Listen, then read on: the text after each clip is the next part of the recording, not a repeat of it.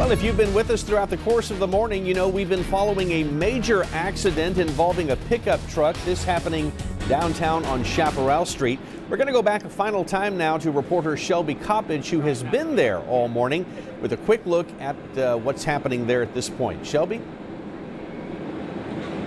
Yeah, Corpus, my Corpus Christi Police Department and the fire department are still here from a major accident. As you can see now, they are removing a white pickup truck and the driver was pronounced dead. Now, the call happened around 4.30 a.m. this morning, and they took the victim out of the car at about 6 a.m. We are not sure how fast he was driving, but as you can see, getting this truck off the street has been quite the process.